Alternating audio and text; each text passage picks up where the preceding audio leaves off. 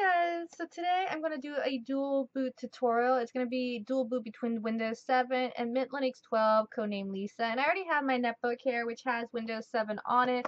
But I travel a lot with this, and I like having my options of having a dual boot. Windows 7 is just so slow at times, and I need to have it where it boots up quickly, gets me to that login screen, be able to browse my internet, and just get to my email or whatever I need to do really quickly, and Mint Linux will give that to me. So since it is an older machine, it's I had this for a few years. It has an Atom processor and only a gig of memory. So really, Mint Linux is really going to help it speed it up, and it's just going to feel so much faster. So that's really a big reason uh, why I'm doing this as well. And I, incidentally, I dropped it at the airport because I travel all the time with it. You know, they're constantly making you take it out and show it to them at the airport. And I went to Turkey recently, and they made me take it out, and it slipped out of my backpack on the way out which was really sad, but it still works, which is still really good.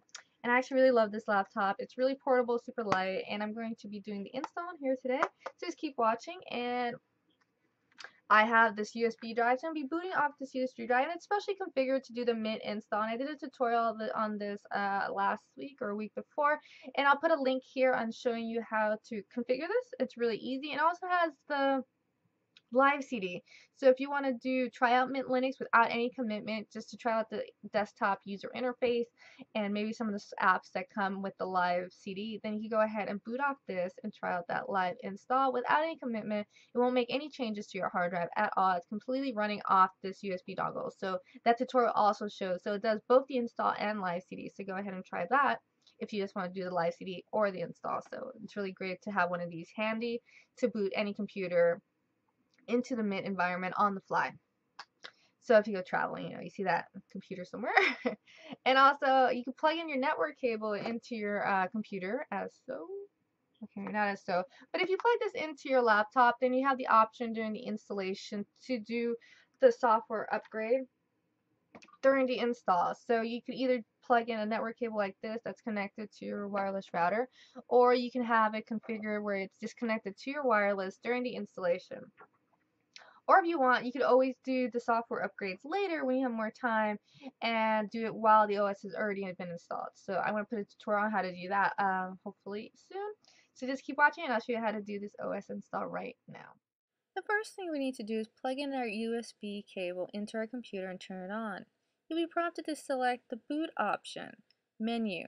A function key usually brings this up. Let's go ahead and select USB and hit enter it will boot into the Mint Linux welcome screen. We're going to go ahead and click on Start Linux Mint, and it's going to bring us to this desktop. This is your live CD, so go ahead and use this interface if you choose.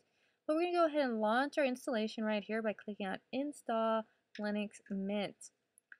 Now this interface also has the options of using the software and the browser. But we're going to go ahead and, through and run through the installation. First we're going to select our language. Now it displays the items that are required to do the installation. You should have your power plugged in and at least 5.6 gigs available of disk space. And you can have your networking plugged in.